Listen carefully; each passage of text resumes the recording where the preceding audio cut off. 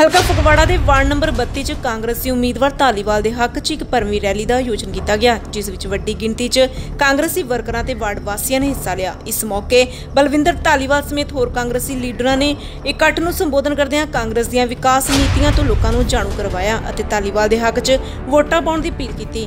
ਇਸ ਦੌਰਾਨ ਧਾਲੀਵਾਲ ਵੱਲੋਂ ਵਾਰਡ ਵਾਸੀਆਂ ਨੂੰ ਭਰੋਸਾ ਦਿੱਤਾ ਗਿਆ ਹੈ ਕਿ ਉਹ ਐਮਐਲਏ ਬਣਨ ਤੋਂ ਬਾਅਦ ਹਲਕੇ ਦਾ ਵੱਧ ਤੋਂ ਵੱਧ ਵਿਕਾਸ ਕਰਨਗੇ। ਪਹਿਲਾਂ ਜਦ ਰਾਬਤਾ ਨਹੀਂ ਹੋਇਆ, ਆਪਾਂ ਕੀ ਹੈ, ਅਸੀਂ ਜਿੰਨੇ ਵੀ ਸਾਡੇ ਕੋਲ ਪਹਿਲਾਂ ਆਈਆਂ ਮੇਰੇ ਕੋਲ ਗੁੱਗਾ ਸਾਹਿਬ ਨੂੰ ਪਤਾ ਹੈਗਾ ਮੇਰੇ ਕੋਲ 900 ਪੈਨਸ਼ਨ 900 ਦੇ ਲਗਭਗ ਪੈਨਸ਼ਨ ਅਸੀਂ ਮਹੀਨੇ ਕੇ ਸੈਂਕਸ਼ਨ ਕਰਾਏ ਸੀ ਜੋ ਆਗੇ ਸੈਂਕਸ਼ਨ ਕਰਾ ਦੋ ਤੋ ਤੁਹਾਨੂੰ ਕਿਤੇ ਜਾਣ ਦੀ ਜ਼ਰੂਰਤ ਨਹੀਂ ਵੀ ਤੁਸੀਂ ਦਫ਼ਤਰ ਜਾਓ ਜਾਓ ਉਹ ਇੱਧਰ ਜਾਓ ਜਾਂ ਉੱਧਰ ਜਾਓ। ਤੁਸੀਂ ਜਸਟ ਆਪਦੇ 30 40 35 ਜਿੰਨੀਆਂ ਵੀ ਹੈਗੀਆਂ 50 ਹੈਗੀਆਂ ਫੋਨ ਭਰੋ ਫੋਨ ਭਰ ਕੇ ਸਾਰਾ ਉਹਦੇ ਸੈਂਕਸ਼ਨ ਕਰਾ ਕੇ ਉਹ ਮੈਨੂੰ ਦੇ ਦਿਓ। ਉਸ ਤੋਂ ਬਾਅਦ ਇੱਥੋਂ ਲੋਕਲ ਕਾਰਵਾਈ ਜੋ ਕਰਾਉਣੀ ਹੈ ਉੱਪਰੋਂ ਕਰਾਉਣੀ ਮੈਂ ਆਪਣਾ ਆਪਣਾ ਕਰ ਦੂੰਗਾ ਪਰ 15 ਦਿਨ ਦੇ ਵਿੱਚ ਵਿੱਚ ਉਹਦੀਆਂ ਪੈਨਸ਼ਨਸ ਲੱਗ ਕੇ ਸਾਰੀਆਂ ਆ ਜਾਣਗੀਆਂ ਠੀਕ? ਨੀਲੇ ਕਾਰਡਾਂ ਵਾਲਾ। ਦੂਸਰਾ ਜਿਹੜਾ ਨੀਲੇ ਕਾਰਡ ਹੈਗੇ ਆ, ਨੀਲੇ ਕਾਰਡ ਮੇਰੇ ਕੋਲ ਤੁਸੀਂ ਫੋਨ ਭਰ ਕੇ ਦਿੱਤੇ ਹੈਗੇ ਨੇ ਪਹਿਲਾਂ। ਫੋਨ ਭਰ ਕੇ ਦਿੱਤੇ ਹੈਗੇ ਨੇ ਉਹਦੀ ਦਫ਼ਤਰੀ ਕਾਰਵਾਈ ਚੱਲ ਰਹੀ ਹੈ।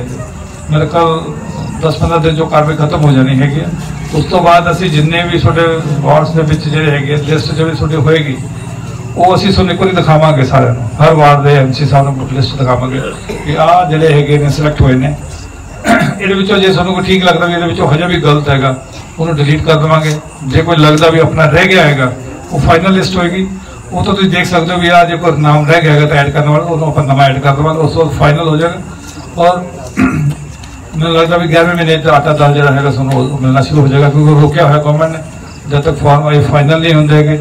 ਮੈਂ ਦੋ ਤਿੰਨ ਦਿਨ ਪਹਿਲਾਂ ਪਤਾ ਕਰਵਾਇਆ ਸੀ ਤਾਂ ਉਸ ਨੂੰ, ਉਹ ਸਾਨੂੰ ਦੱਸਦਾ ਸੀ, ਕਹਿੰਦੇ 10 15 ਦਿਨ ਹੋਰ ਲੱਗਣੇ ਆ, ਅਸੀਂ 10 15 ਦਿਨ ਕੰਪਲੀਟ ਕਰ ਦੇਣੇ। ਉਸ ਤੋਂ ਬਾਅਦ ਸਾਨੂੰ ਲਿਸਟ ਵਗੈਰਾ ਦਿਖਾ ਕੇ ਚੈੱਕ ਕਰਾ ਕੇ ਜੋ ਵੀ ਹੋਏਗਾ ਉਹਨੂੰ ਆਟਾ ਦਾਲ ਜਿਹੜਾ 11ਵੇਂ ਮਹੀਨੇ ਚ ਮਿਲਣਾ ਸ਼ੁਰੂ ਹੋ ਜਾਏਗਾ ਇੱਕ ਕੈਂਸਰ ਦੀ ਕੇਸ ਕੀਤਾ ਤੁਸੀਂ ਕੈਂਸਰ ਦੀ ਗੱਲ ਕੀਤੀ ਤਾਂ ਕੈਂਸਰ ਦਾ ਮੈਨੂੰ ਪਤਾ ਨਹੀਂ ਵੀ ਤੁਸੀਂ ਉਹਦੇ ਵਿੱਚ ਕੀ ਚੱਲਦਾ ਕਿਉਂਕਿ ਹਰ ਗਵਰਨਮੈਂਟ ਦੀ ਪਾਲਿਸੀ ਹੈਗੀ ਆ ਉਹਦੇ ਵਿੱਚ ਕਿ ਕੋਈ ਵੀ ਕੈਂਸਰ ਦਾ ਮਰੀਜ਼ ਹੈਗਾ ਉਹ ਸੈਂਟਰ ਗਵਰਨਮੈਂਟ ਆਪਣੀ ਪਾਲਿਸੀ ਹੈ ਗਵਰਨਮੈਂਟ ਦੀ ਮੇਰੇ ਕੋਲ 1.5 ਲੱਖ patient ਡੇਢ ਲੱਖ ਹੈਗੇ। ਰੁਪਏ। ਤਾਂ 1.5 ਲੱਖ ਦੀ ਜੇ ਤੁਸੀਂ ਅਵੇਲ ਕੀਤੀ ਹੈ ਤਾਂ ਵੀ ਦੱਸੋ ਜੇ ਨਹੀਂ ਹੈਗਾ ਤਾਂ ਤੁਸੀਂ ਉਹਦੇ ਜਿਹੜੇ ਜਿੱਥੇ ਫਾਰਮ ਫਾਰਮ ਭਰ ਕੇ ਉਹਦੀ ਲਿਸਟ ਬਣਾ ਕੇ ਦੇਣੀ ਹੈ ਕਿ ਸਾਨੂੰ ਉਹ ਅਸੀਂ ਡੀਸੀ ਆਫਿਸ ਮੈਂ ਕਹਿ ਦੂੰਗਾ ਉੱਥੋਂ। ਉੱਥੋਂ ਮਾਰ ਕੇ ਡੀਸੀ ਅਪਰੂਵਲ ਦਿੰਦਾ ਕਿਉਂਕਿ ਪਹਿਲਾਂ ਇੱਥੋਂ ਐਸਐਮਓ ਤੇ ਜਾਓਗੇ ਐਸਐਮਓ ਤੋਂ ਸਿਵਲ ਸਰਜਨ ਜਾਂਦੀ ਹੈ ਸਿਵਲ ਸਰਜਨ ਤੋਂ ਫਿਰ ਡੀਸੀ ਨੂੰ ਜਾਂਦੀ ਹੈ। ਤਾਂ ਡੀਸੀ ਉਹਦੇ ਅਪਰੂਵਲ ਦੇ ਦਿੰਦਾ ਹੈਗਾ ਉੱਥੋਂ ਅਪਰੂਵਲ ਕਰਕੇ ਫਿਰ ਉਹ ਜਿਹੜੇ ਹਸਪੀਟਲ ਹੈਗੇ ਪੈਨਲ ਹੈਗੇ ਵੀ ਆ ਹਸਪੀਟਲ ਤੁਸੀਂ ਇਲਾਜ ਕਰ ਸਕਦੇ। ਉਹਦੇ ਵਿੱਚ ਤੁਸੀਂ ਪੈਸਾ ਕੋਈ ਨਹੀਂ ਦੇਣਾ ਹੈਗਾ ਗਵਰਨਮੈਂਟ ਤੁਸੀਂ ਇਲਾਜ ਕਰਾਉਣਾ ਪੈਸਾ ਜਿਹੜਾ ਗਵਰਨਮੈਂਟ ਪੇ ਕਰ ਸਕਦੀ ਹੈ। ਇਸ ਕਰਕੇ ਇਹਦੇ ਵਿੱਚ ਇਹ ਹੋ ਸਕਦਾ ਬਾਕੀ ਹੈਲਥ ਕਾਰਡ ਤੁਸੀਂ ਕਹਿ ਸੀਗਾ ਹੈਲਥ ਕਾਰਡ ਦਾ ਵੀ ਸੇਮ ਪੋਜੀਸ਼ਨ ਹੈ ਕਿ ਅਸੀਂ 25 ਟੀਮਾਂ ਬਣਾਈਆਂ ਹੋਈਆਂ। 25 ਟੀਮਾਂ ਆਪਦੇ ਸ਼ਡਿਊਲ ਦੇ ਨਾਲ ਆ ਰਹੀਆਂ ਹੈਗੀਆਂ। ਜੇ ਤਾਂ ਇੱਥੇ ਆ ਚੁੱਕੀ ਹੈ ਠੀਕ ਹੈ। ਜੇ ਨਹੀਂ ਆਈ ਤਾਂ ਮੇਰੇ ਕੋਲ ਦੋ ਚਾਰ ਦਿਨ ਚ ਆ ਜਾਏਗੀ। ਤੁਸੀਂ ਹੈਲਥ ਕਾਰਡ ਆਪਦਾ ਬਣਾ ਲਓ। ਤਾਂ ਹੈਲਥ ਕਾਰਡ ਬਣਾਉਣ ਤੋਂ ਬਾਅਦ ਜਿਹੜਾ ਹੈਗਾ ਤੁਸੀਂ ਉਹਦਾ ਕਰ ਸਕਦੇ ਹੋ। ਬਾਕੀ ਦੂਸਰਾ ਜਿਹੜਾ ਇਹਦੇ ਵਿੱਚ ਇਹ ਵੀ ਹੋ ਸਕਦਾ ਕਿ ਤੁਸੀਂ ਪਹਿਲਾਂ ਆ ਚੁੱਕੇ ਸਾਡੇ ਕੋਲ? ਹਾਂਜੀ। ਇੱਥੇ ਹੈਲਥ ਕਾਰਡ ਬਣਾਉਣ ਵਾਸਤੇ ਟੀਮ ਆਈ? ਆ ਚੁੱਕੇ ਆ। ਚੁੱਕੇ ਆ ਚੁੱਕੇ ਹਾਂਜੀ। ਚਲੋ ਜੇ ਕੋਈ ਰਹਿ ਗਿਆ ਹੈਗਾ ਤਾਂ ਦੱਸ ਦਿਓ ਫਿਰ ਦੁਬਾਰਾ ਭੇਜ ਦਵਾਂਗੇ ਇੱਕ ਵਾਰੀ। ਠੀਕ ਹੈ। ਤਾਂ ਹੈਲਥ ਕਾਰਡ ਬਣ ਜਾਣਗੇ ਕਿਉਂਕਿ ਹੈਲਥ ਕਾਰਡ ਵੀ ਮੇਰੇ ਕੋਲ ਅਗਲੇ ਮਹੀਨੇ 'ਚ ਸ਼ੁਰੂ ਹੋ ਜਾਣੇ ਹੈਗੇ। ਤਾਂ ਮੇਨ ਗਵਰਨਮੈਂਟ ਦਾ ਮਕਸਦ ਇਹ ਹੈ ਕਿ ਵੱਧ ਤੋਂ ਵੱਧ ਜਿਹੜੀਆਂ ਹੈਗੀਆਂ ਜਿਹੜੇ ਗਵਰਨਮੈਂਟ ਦੀਆਂ ਸਕੀਮਸ ਹੈਗੀਆਂ, ਉਹਨਾਂ ਦਾ ਲਾਭ ਜਿਹੜਾ ਹੈਗਾ, ਉਹ ਲੋਕਾਂ ਨੂੰ ਪਹੁੰਚਾਇਆ ਜਾਵੇ। ਇਸ ਤੋਂ ਬਿਨਾਂ ਹੋਰ ਲਾਈਟਸ ਦਾ ਤੁਸੀਂ ਮੈਂ ਤੁਹਾਡਾ ਮੈਮੋਰੈਂਡਮ ਦੇਖਿਆ ਸੀ ਲਾਈਟਸ ਲਿਖਿਆ ਸੀ। ਲਾਈਟਸ ਉਹਦੇ ਕਾਫੀ ਲੱਗੀਆਂ ਵੀ ਹੈਗੀਆਂ, ਪਰ ਜੇ ਹੋਰ ਕੋਈ ਜੀਟੀ ਰੋਡ ਤੇ ਜਾ ਕੇ ਤੇਰੇ ਨਹੀਂ ਰੋਡ ਤੇ ਜੀਟੀ ਰੋਡ ਤੇ ਨਹੀਂ ਲਿਖੀਆਂ, ਤਾਂ ਜੀਟੀ ਰੋਡ ਤੇ ਜਿੰਨੇ ਵੀ ਪੁਆਇੰਟਸ ਹੋਣਗੇ ਪਰ ਹੁਣ ਨਹੀਂ ਲੱਗੇ ਸਕਦੇ, ਮੈਂ ਝੂਠਾ ਲਾਣਾ ਨਹੀਂ ਲਾਊਗਾ। ਤੁਹਾਡੇ ਕੱਲ ਹੀ ਲਗਾ ਦਵਾਂ। ਟੈਂਡਰ ਲੱਗਣੇ ਉਹਦੇ ਵਿੱਚ ਟੈਂਡਰ ਲੱਗੇ ਫਿਰ ਉਹ ਲਾਈਟਸ ਜਿਹੜੇ ਹੈਗੇ ਤੁਹਾਡੇ ਉਹੀ ਤਾਂ 11 ਕੁ ਨਵੰਬਰ 11 ਕੁ- 10 ਨਵੰਬਰ ਤੱਕ ਜਿਹੜੀਆਂ ਲਾਈਟਸ ਨਵੀਆਂ ਲਗਵਾ ਦੂੰਗਾ 25 30 40 ਜਿੰਨੀਆਂ ਵੀ ਚਾਹੀਦੀਆਂ ਤਾਂ ਨਵੇਂ ਟੈਂਡਰ ਲਗਾਉਣੇ ਪੈਣੇ। ਤੇ ਬਾਕੀ ਜੋ ਵੀ ਤੁਸੀਂ ਉਹਦੇ ਵਿੱਚ ਡਿਮਾਂਡਸ ਲਿਖੀਆਂ ਹੈਗੀਆਂ ਅਸੀਂ ਉਹਨੂੰ ਫਿਰ ਉਹਨੂੰ ਸੌਟ ਆਊਟ ਕਰ ਲੈਣਾ ਉਹਦੇ ਵਿੱਚ ਮੈਂ ਦੇਖਦਾ ਸੀ ਲੰਬੜਦਾਰੀ ਦਾ ਕੇਸ ਲਿਖਿਆ ਸੀ ਤਾਂ ਇਸ ਤਰ੍ਹਾਂ ਦੀ ਦਫ਼ਤਰੀ ਕਾਰਵਾਈ ਹੈਗੀ।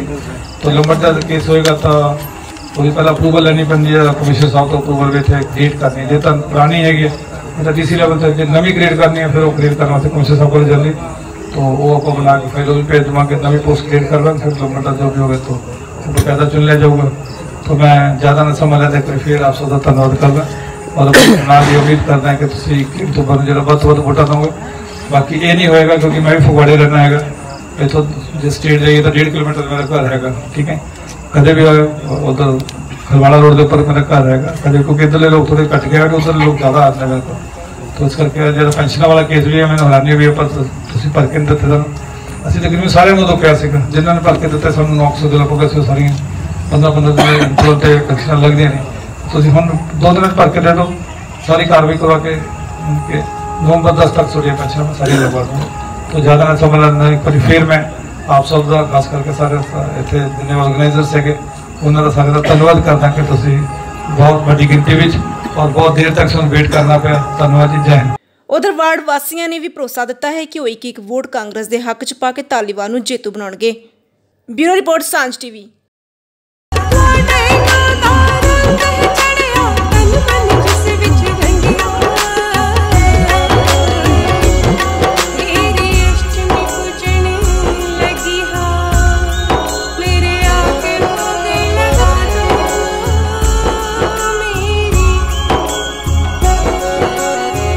ਨਵੀਆਂ ਤੇ ਤਾਜ਼ਾ ਖਬਰਾਂ ਸਭ ਤੋਂ ਪਹਿਲਾਂ ਵੇਖਣ ਲਈ ਸਾਡਾ YouTube ਚੈਨਲ ਸਬਸਕ੍ਰਾਈਬ ਕਰੋ। ਸਾਂਝ ਟੀਵੀ ਤੇ ਸਿਰਫ ਖਬਰਾਂ ਜਾਣਨ ਦੇ ਲਈ ਨਹੀਂ, ਸੱਭਿਆਚਾਰਕ ਪ੍ਰੋਗਰਾਮ, ਖਾਸ ਮੁਲਾਕਾਤ ਖਾਸ ਮੁਲਾਕਾਤ ਦੇ ਵਿੱਚ ਸੋਸ਼ਲ ਇਸ਼ੂ ਪੋਲਿਟੀਕਲ ਇਸ਼ੂ ਇਹਨਾਂ ਸਾਰੇ ਇਸ਼ੂਜ਼ ਨੂੰ ਜਾਣਨ ਦੇ ਲਈ ਸਬਸਕ੍ਰਾਈਬ ਕਰੋ ਆਪਣਾ YouTube ਚੈਨਲ ਸਾਂਝ ਟੀਵੀ